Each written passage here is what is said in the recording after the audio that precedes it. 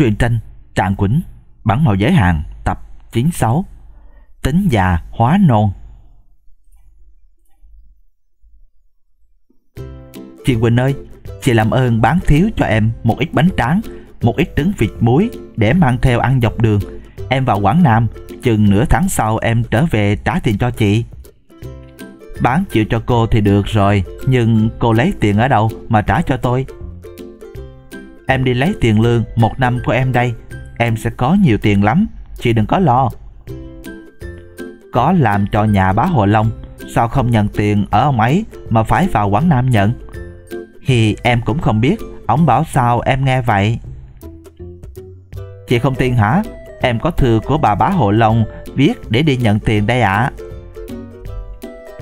Ông bá Hội Long bảo em tuyệt đối không cho ai đọc thư này để bảo vệ tính mạng. Nhưng em tin chị, em cho chị xem nè. Chị yên tâm, bán chịu cho em đi.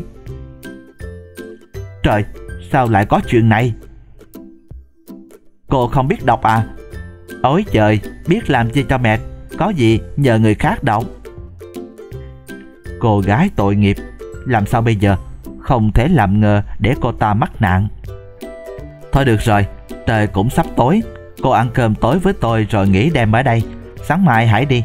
Tôi sẽ gói cho cô vài cây bánh tét nhỏ mang theo, ăn tiện hơn. Ăn bánh tráng khô lắm. Khi về cô trả tiền cho tôi đấy nhé. Dạ em cảm ơn chị. Quýnh, vào mà báo. Chuyện của cô Liễu là thế đó, con nghĩ sao? Mợ cho tí thuốc ngủ này vào thức ăn, cho chị ấy ngủ say, mọi sự để con. Hì, chị nấu cơm ngon quá. Từ bé đến giờ em mới được ăn một bữa cơm đàng hoàng đấy. Cô vào phòng tôi ngủ đi. Sáng mai tôi đến thức cô dậy sớm cho. Bây giờ tôi gói bánh tét cho cô. Khò khò. Trời, con gái mà ngủ ngáy thế này. Chắc ở vậy tới già quá. Ngắm thuốc ngủ đấy. Bà ngủ ngáy có kém gì ép kèo đâu mà chê người ta. Gừ. Đây, mở lấy được bức thư rồi đây.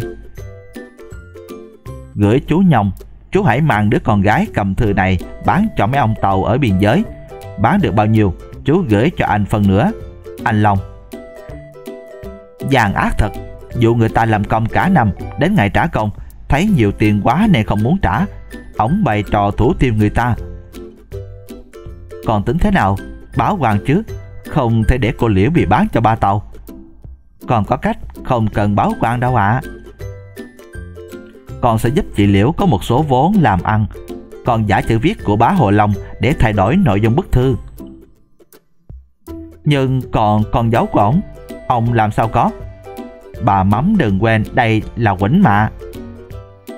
Hà, fan này anh em ông Long Nhông sẽ điên lên vì mất tiền.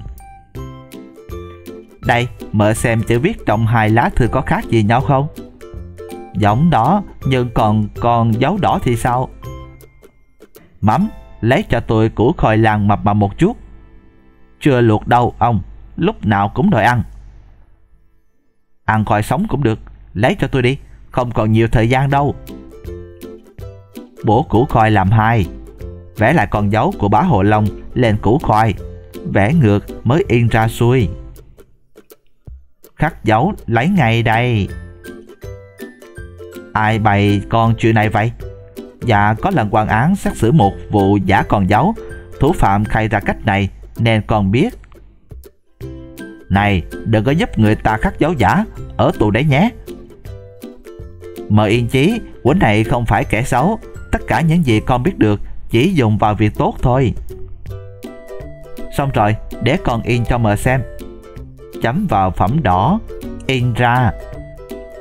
Mờ thấy con hay chưa? Mặc dù không mưa ổng, nhưng tôi cũng phải công nhận ông khéo tay thật đấy. Khen thừa.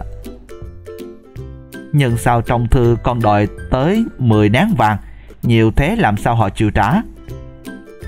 Mấy ổng không bao giờ trả đủ tiền cho người làm đâu, còn phải nói thách như thế là vừa. Rồi, mời bỏ bức thư vào túi áo của chị Liễu đi, trời gần sáng rồi. Chúc cô đi bình yên Dạ em cảm ơn chị. Bẩm ông, có người nhà của ông Cả Long xin gặp ông ạ. Anh ta gửi người đến làm gì? Cho nó vào. Con chào ông ạ. Chuyện gì? Dạ ông của con bảo con đưa thư này đến cho ông ạ. Chú Long, cho anh vay 10 nén vàng để trả tiền công 10 năm nay cho con bé mang thư này. Anh vừa mua đất hết tiền mà lại đến hạn trả tiền cho nó. Không trả, nó kiện lên quan vì anh có ký giao kèo với nó. Tháng sau anh gửi trả cho chú. Cảm ơn chú nhiều. Anh Long ký tên, đóng dấu. Làm công gì mà 10 năm tới 10 nén vàng lận. Ông Long này có điên không vậy? Hỏi lại nói xem. Anh tao nợ mày bao nhiêu tiền? Dạ con không biết tính Ông con dặn Ông đưa bao nhiêu thì lấy bấy nhiêu ạ à? Mày khờ cho mày chết. Nè, Một nén nè. Chỉ có một cục thế này thôi à. Một cục là đủ rồi. Lăn tay vào giấy xác nhận tiền, Rồi xéo đi. Ông bá Hồ Long bảo mình đi nhận tiền, Sao người ta chỉ đưa có cục này? Hà, Chỉ đưa một nén Mà nó ký nhận 10 nén. Đòi ông Long 10 nén. Ông Phú Hộ Nhông không đưa tiền cho em mà chỉ đưa có mỗi cục này. Tôi công làm việc cả năm nay của em rồi chị ơi. Em ơi, em khờ quá, cục này là một nén vàng, bằng 10 lạng vàng đấy. Hả? Em có nhiều vàng thế à? Làm công một năm mà nhiều thế ư? Từ bé đến giờ, em có thấy vàng đâu mà biết. Em xuống thuyền vào các tỉnh phía Nam lập nghiệp đi. Em có vốn buôn bán rồi, không phải đi làm thuê cho người ta nữa. Em cảm ơn chị nhiều lắm ạ. À. Mở thấy con đoán hay chưa? Con ghi trong thư 10 nén, con biết họ chỉ trả một nén thôi. Thế là đúng ý mình. Nếu con ghi trong thư một nén thì họ sẽ trả một đồng thôi. Mấy ông nhà giàu có tính bồn rút của người khác, phải nói thách mới được. Tính toán dữ dằn thế Thảo nào tóc mọc không nói anh Long có nhà không ạ? À? Chú Nhông mừng quá. Chắc chú mang tiền tới cho anh. Tiền gì? Tôi tới đòi nợ anh. Chứ tội vạ gì mà phải mang tiền cho anh? Anh nợ gì chú? Không ngờ dạo này anh tệ thật. Mượn tiền tôi rồi vờ quen. Tôi có bằng chứng hẳn hoi đây. Ủa tôi viết bức thư này hồi nào? Chữ của anh, dấu đỏ của anh mà còn chói à? À, à, à Không ngờ chú mày tệ thật. Dám giả thư của ta để đòi nợ ta. Tôi không giả thư. Trả cho tôi 10 nén vàng. Chủ đưa cho nó 10 nén vàng. Không thiếu một nén. Nó ký nhận đàng hoàng. Anh bảo sao tôi làm vậy? Chú khờ thì ráng mà chịu. Đây là thư giả. Thư thật, tôi bảo chú bán nó, Chia tiền cho tôi. Không phải tôi vay tiền chú. À, à tính quyệt nợ bên này chuyện thư giả thư thật. Tôi kiện lên quan Làm lớn làm láo. Ông Nhông ơi Ông cả lòng nói Thật đấy Ông ấy có viết thư thật đấy. Đổi giấy nhận tiền của chị Liễu lấy thư này Ông dùng nó làm cho ông Long sợ Phải trả tiền cho ông. Ha ha Tôi cầm cả hai bức thư này đi kiện Tội nào anh cũng chết. Về tình nghĩa anh em, tôi hỏi anh chọn tội nào để tôi kiện? Tội quyệt nợ hay tội mua bán người? Tội nào nặng hơn? Tội mua bán người nặng hơn, thưa anh. Thôi, để tao trả 10 nén vàng cho chú mày. Trả hết hai bức thư đó lại cho tao. Chú mày kiện tội này, lôi ra tội kia, tội nào cũng chết. Nè, 10 nén vàng nè, tình huynh đệ chấm hết ở đây. Cút he he, cho vay một nén, lãi chín nén. Cho ông anh của mình chịu cái tội quyệt công người khác ông kia, theo tôi lên quan. Tội gì? Tội ăn lợi cắt cổ, tội gạt người. Tại sao anh của người bảo người trả cho cô gái kia 20 nén vàng mà người chỉ trả có một nén? Đâu có, anh tôi bảo chỉ trả có 10 nén thôi. Vậy là người nhận là anh người bảo trả 10 nén Dạ đúng. Ủa sao mình nhận một cách ngốc nghếch thế? Ha ha Hoàng án chặn đầu Ổng khai tuốt Người đã trả cho cô gái mấy nén Dạ đủ 10 nén ạ. À. Lính Giam hắn lại Cho người đi tìm cô gái về đối chất. Bẩm chúng con có biết cô ấy ở đâu mà tìm ạ? À? Tìm khắp nước 10 năm, 20 năm hoặc 30 năm thế nào cũng gặp. Vậy tôi phải đợi tới chừng ấy mới xử sao ạ? À? Không có người đối chất, Làm sao tôi xử? Cảm phiền người đợi trong ngục vậy. Thôi để tôi gửi quan trả cho cô ta chín nén. Quan cho tôi về. Nhận tội rồi à? Để chín nén lên bàn rồi về. Hít tưởng lời, Ai dè huề vốn. Cho vay mà không có lãi, Xui thật. Chưa xong, chưa được về. Chuyện gì nữa? Đóng án phí rồi mới được về. Ông gây ra án quan phải xử. Do đó phải có án phí. Bao nhiêu? Một nén vàng. Án phí gì nhiều dữ vậy? Bớt chút đi. Vậy thì trở vào mặt cả với quan án đi. Ta không nói thách, Miễn trả giá. Vậy thì một nén nè. Án phí thì theo giá chợ đen. Về được rồi đó. Hít bây giờ thì không những cho vay không được lãi, Mà còn cuộc luôn cả vốn. Đem 10 nén vàng này phân phát cho dân chúng ở vùng báo luật Đứa nào cắt xén, ta chém. Hu hu Tự dưng anh em mình đều bị mất tiền. Tự dưng sao được? Tại anh âm mưu lường gạt tiền Và hai người mới ra nông nổi này. Anh ở ác báo hại tôi, Bị vạ lây, Đền cho tôi một nén vàng. Có giết ta chết Ta cũng không đền Quýnh ơi Lại cứu cha tao với Ông Lý đang bắt chẹt cha tao kìa Tôi lặp lại Làng cần 10 cái khăn đóng cho 10 hương chất đợi trong ngày hội làng sắp tới. Ông phải thực hiện đúng ngày giờ. Thưa ông Lý, tôi dư sức mang kịp 10 cái khăn đóng, nhưng ít vải quá. Quỷ làng chỉ còn chừng ấy vải, ông làm sao thì làm, miễn có đủ 10 cái khăn đóng thì thôi. Ông không làm, tôi sẽ đóng cửa tiệm bay của ông về cái tội chống lại lệ làng. Thưa ông Lý, còn có ý kiến được không ạ? À? Ý kiến, ý dáng gì cũng được Miễn sao có đủ 10 cái khăn đóng cho tao thì thôi Chú con sẽ dùng số vải này May đủ 10 cái khăn đóng Nhưng hơi nhỏ một tí có được không ạ? À? Nhỏ cũng được, Nhưng phải đội được lên đầu. Không thể nhỏ mà không đội được. Vậy ông Lý cho phép 10 cái khăn đóng ấy Được may nhỏ hơn bình thường. Ta cho phép nhỏ, Nhưng phải đội được lên đầu. Không đội lên đầu được, Ta không nhận. Con bảo đảm, đầu nào cũng đội được. Thế thì tốt, Đầu nào cũng phải đội được. Vậy con viết hóa đơn đặt hàng cho ông Lý nhé. Lão Ta không đủ uy tín để đặt hàng hay sao Mà phải viết hóa đơn Xin ông Lý thông cảm Đó là luật kinh doanh Đặt hàng với số lượng nhiều thì phải có hóa đơn để cuối năm để tổng kết tài chánh ạ. Xì, làm đi tiệm mày bé hơn cái lỗ mũi mà cũng bày trò. Dạ, mời ông Lý ký. Ông Lý đặt 10 cái khăn đóng với kích thước đầu nào cũng đội được, không đội lên đầu được sẽ không nhận hàng. Viết hay đấy, tao ký đây. Mày có đi không vậy? Chừng này vải làm sao mày được 10 cái khăn đóng? Mày hại tao rồi. Bác yên tâm, giấy trắng, mực đen rõ ràng kia Bác cứ theo đó mà làm Ông Lý không buộc tội bác được đâu Bác cứ mày 10 cái khăn nhỏ chừng này cho con Con sẽ giao hàng cho ông Lý Khăn nhỏ cỡ này. Mày cho dễ đội chắc. Bố cứ làm theo lời nó đi. Nó có tài lắc léo quanh co, Bố đừng lo. Tao mày xong, Mày giao hàng cho ổng. Tao về quê ăn Tết.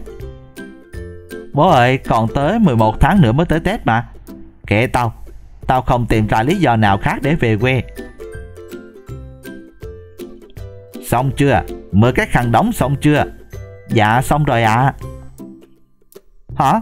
Sao nhỏ xíu vậy? Thì ông Lý đã đồng ý cho chú con may làm sao thì may Miễn đầu nào cũng đội được cơ mà Đầu nào nhỏ như thế? Dạ đầu ngón tay ạ à. Thằng khỉ Tao nói đầu là cái đầu không phải đầu ngón tay. Tại ông Lý không nói rõ đầu là cái đầu ở trên cái cổ. Ông Lý chỉ nói đầu nào cũng đội được, đầu ngón tay cũng là đầu ạ. À. Mày chờ chữ bắt bí tao, tại tao lơ đến, không cần nhắc khi ký hóa đơn. Tao chưa thua mày vì lý của mày, nhưng cũng như tao bỏ qua và cảm ơn mày. Cảm ơn về điều gì ạ? Mày cho tao một bài học Trước khi ký vào bất kỳ giấy tờ nào Thì phải cân nhắc từng câu, từng chữ Kẻ bị mắc bẫy Văn trường chữ nghĩa bào là lắm Dễ bị nhầm Có chuyện gì mà mày buồn thiểu buồn thiêu, Mặt chảy dài tới rốn vậy? Nhà tao mất tiếng cười, buồn lắm. Là sao? Ông anh tao thi trượt, Mẹ tao đổ lỗi cho bố tao, Không lo dạy dỗ anh tao. Bố tao đổ lỗi cho mẹ tao, Không chăm sóc anh tao kỹ, Nên không có sức học. Ông anh tao thì buồn vì thi trượt, Không nói một lời nào. Bố mẹ tao gây nhau, Cũng không ai nói lời nào. Tao buồn lây. Thì mày làm sao cho cả nhà cùng cười là sao? Tao làm đủ trò rồi, Nhưng làm trò nào tao cũng bị đòn Vì tội vô duyên. Tối nay, mày đưa tao về nhà, Tao sẽ làm cho cả nhà mày cười vỡ bụng. Mày đừng nói gì với nhà mày nhé. Mày mang túi gì to vậy? Túi cười đấy. Tới giờ tao hành động, Mày nghe gì cũng nằm yên trong phòng, Đừng chạy ra. Trước tiên mình xuống bếp Vì khi có chuyện gì xảy ra Thì người nhà sẽ xuống bếp thổi lửa đèn Để đốt đèn. Gắn cái kèn vào ống thổi lửa. Tiếp tục lên nhà trên. Lên nhà trên. Thay đĩa đèn dầu bằng đĩa khác để quả pháo trống vào, tìm pháo chìa ra như tim đèn. Tiếp tục vào phòng ông cha cột trái tim heo vào ngực ổng đổ máu chó trước cửa phòng ổng hi hi cuối cùng qua phòng ông anh buồn kiểu gì mà ngủ ngon lành thế nhỉ hi cột bộ ruột heo vào bụng ổng. Cắm con dao vào bộ ruột heo. Cuối cùng chích ổng một phát. Ái, đau quá. Hả? Cha mẹ ơi, ai đâm con lồi ruột rồi đây nè. Ai đâm con tao? Ái, ái. Rầm, hả? Trái tim, máu. Bà ơi, tôi té nặng lắm, tim rớt ra ngoài, máu chảy lên lá nè. Chết chồng, chết con tôi rồi. Đợi một chút, tôi thắp đèn. Bếp đâu, bếp đâu, trời ơi, ruồng quá. Ống thổi lửa đâu? Đây rồi. Toa, toa. Trời mẹ ơi, chuyện gì kỳ quái thế này? Toa, toa. Ông ơi, có ma. May quá, lửa cháy lại rồi. À Ôi ông Táo ơi Tôi có làm gì phật lòng ông Thì để tôi cúng Đừng có giận dữ như thế Tôi sợ lắm Trầm lại ông Táo Ngăn lại ông Táo Bà ơi nhanh lên Tôi sắp chết rồi Mẹ ơi nhanh lên Con cũng sắp chết rồi Mẹ đốt đèn đây Mẹ lên ngay ầm um. Ông ơi trời đánh tôi Cha ơi, con ơi, vợ ơi, ai cứu chúng tôi với Rồi, mày cầm đèn ra đi Chuyện gì vậy ạ? À? Đồ bất hiếu, cha mẹ mày sắp chết Thế mà giờ này mày mới thọ mặt ra. Ha ha, hi hi Có gì đâu mà bố lạ dữ vậy? Tao té rất tìm ra ngồi Mà mày bảo là không có gì à. Tìm heo đó bố ơi. Ủa không phải tìm của tao. Còn cái này ruột heo đó anh ơi. Ha ha hi hi Thế mà tao tưởng ruột của tao. Xuống bếp xem mẹ mày bị trời đánh ra sao. Ha ha, Có trời nào đánh mẹ đâu, Pháo nổ đấy. Còn mùi khói pháo, Mẹ không ngửi thấy à. Còn cái này là cái đầu chó, Chứ không phải ông Táo nổi giận đâu. Hi hi. Thế sao cái ống thổi lửa? Toa toa. À có cái kèn trong này. Đứa nào nghịch vậy? Tao biết đứa nào, tao đánh chết. Ha ha, hi hi. Tức cười quá, Có thế mà cả nhà hoảng lên. Ông phải cảm ơn đứa nào nghịch thế này mới đúng. Nhờ nó mà cả nhà mình cùng cười với nhau mà. Thằng Quỳnh đó, bố ơi!